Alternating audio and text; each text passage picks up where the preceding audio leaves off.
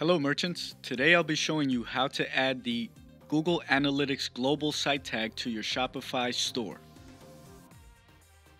In the previous video I showed you how to generate the Google Global Site Tag and if you haven't seen it yet, I will link to it in the description.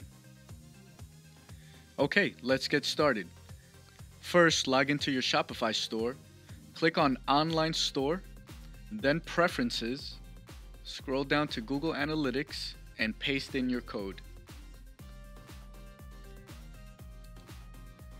Hit save. Please make sure that Use Enhanced E-commerce is turned on. To verify that the global site tag was added successfully, we have two options. The first one is to download the Google Chrome extension Tag Assistant. I will link to that in the description.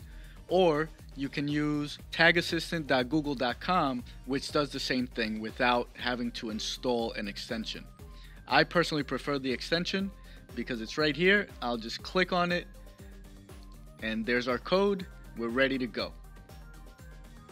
Now your site is tracking and sending all the information back to Google Analytics so you can then use reports to view and analyze the data.